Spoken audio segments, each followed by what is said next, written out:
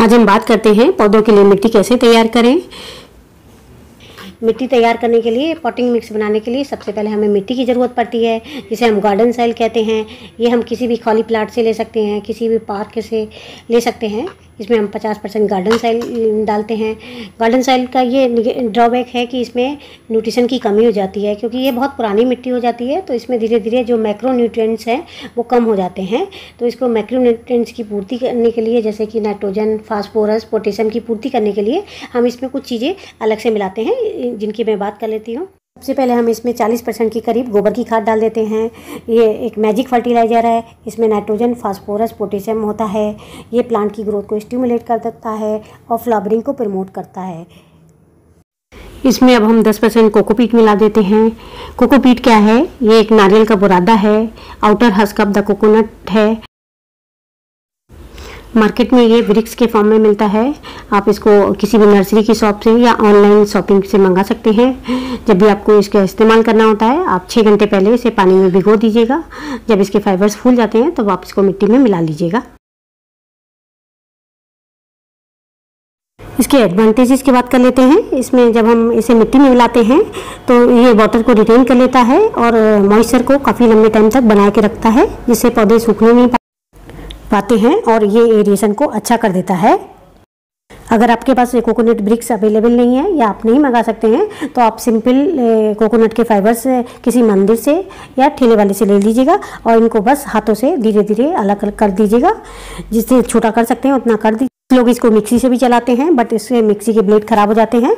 आप बस इसे छोटे छोटे टुकड़े करके मिट्टी में मिला लीजिए। मिट्टी में मैंने 10 परसेंट फाइन सैंड या रेता भी डाल दिया है। अगर आपके पास ये उपलब्ध है तो आप डाल दीजिएगा। अब हम अपने गमले को तैयार कर लेते हैं। मैंने एक प्लास्टिक की पेंट की बाल्टी ली है। इसमें मैंने एक नीचे होल कर लिया है बड़ा सा। अब इसके ऊपर मैंने एक गिट्टी लगा देती हूँ। सबसे पहले जो लेयर डालती हूँ, वो सूखी पत्तियों की लेयर डाल देते हैं। इसके ऊपर जो कि ऑर्गेनिक मैटर प्रोवाइड करती हैं।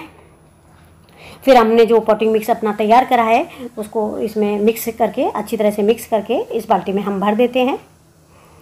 आपके पास कोई सूखी हुई पत्तियाँ हैं, वो भी आप इसमें डाल सकते हैं। इस तरह से आप अपनी बाल्टी को भर लीजिएगा, पूरा ऊपर तक मिट्टी भर लीजिएगा और आपका गमला तैयार हो जाता है। चलिए, मैं आपको अपने किचन गार्डन में ले चलती हूँ। दिखाती हूँ मैंने क्या क्या सब्ज़ियाँ लगाई हैं। ये मैंने मिर्ची के प्लांट लगाए हैं, ये मैंने हरी मिर्च के सीड से लगाए थे। ये बीस दिन के बाद का अपडेट है। मिर्ची के छोटे छोटे पौधे ग्रो हो रहे हैं और ये चार महीने के बाद का अपडेट है।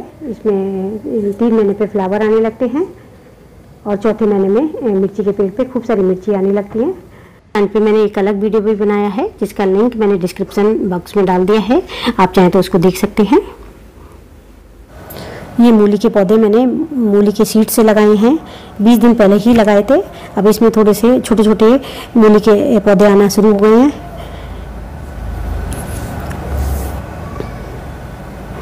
ये मेरा एक नींबू का प्लांट है, दूसरा।